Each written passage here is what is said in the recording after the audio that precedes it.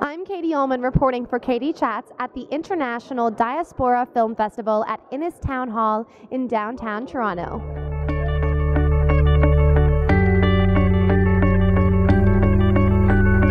I'm here with the director of the festival, Shahram Tabe.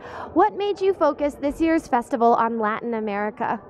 Uh, Latin American diaspora is one of the major uh, the, the uh, diaspora in, in, in, Canada and around the world.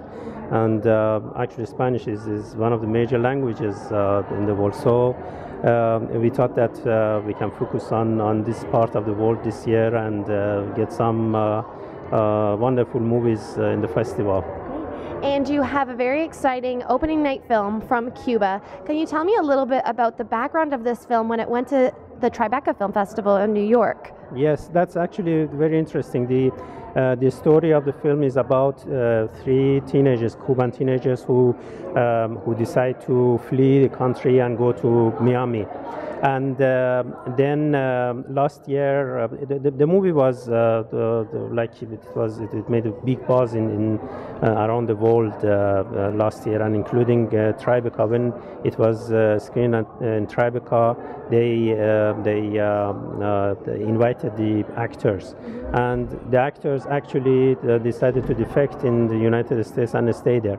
And the two um, the two main actors, the, the girl and the boy who play uh, brother and sister in the movie. Eventually, uh, they uh, they got married and they are waiting for their first child now. And what makes Latin America such an interesting diaspora?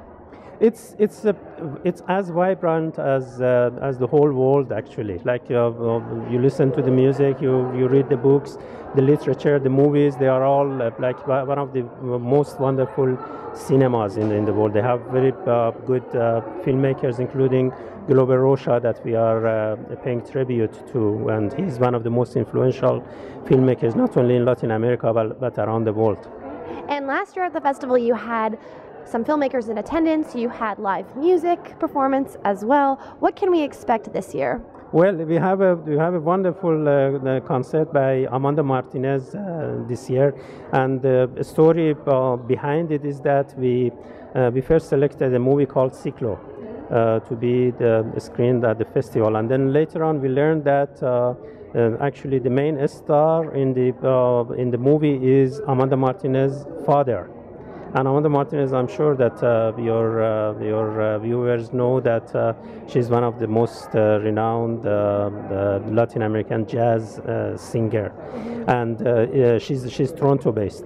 And actually, the, the, the movie is about his, her father and her uncle, who decided to bike all the way from Mexico to Toronto in 1956 and they were planning to come here and go back, but they came here and then they decided to stay, and they that that was a life-changing uh, uh, journey. And where's the best place for us to find out more information on the Diaspora Film Festival online?